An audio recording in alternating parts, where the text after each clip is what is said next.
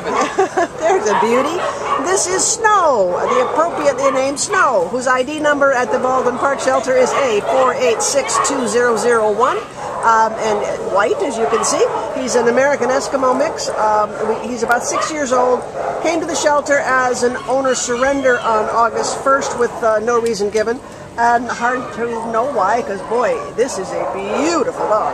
Um, he, what he can you tell us, Kim? He's okay on a leash, or yeah, he, you know, he's a little timid. Uh, it was a little hard to get him out of the out of the out of the kennel. But once he got on the leash and realized he was about to walk around and Yeah. explore, he was fine. He loves to be on the leash. Uh-huh. He loves to explore. He loves other dogs. I think he's he's he's still a little timid, and I think it's going to take a little time to get to get to get him warmed up. And, but but you know, he, he warms up gradually. Right, He right. warms up gradually. Well, he is a really, really handsome, beautiful dog, and I think you know anybody who knows this kind of breed, and he, he's you know he's going to make a good family pet, don't you think? He's curious about Yeah. other dogs. Oh, yeah, You said yeah. he, he wants to be around other dogs, and seems most people, but he is he's a little standoffish right now. He's uh, not unsure of himself, and uh, he wasn't too fond of this idea of being photographed. but Kim's taking care of him.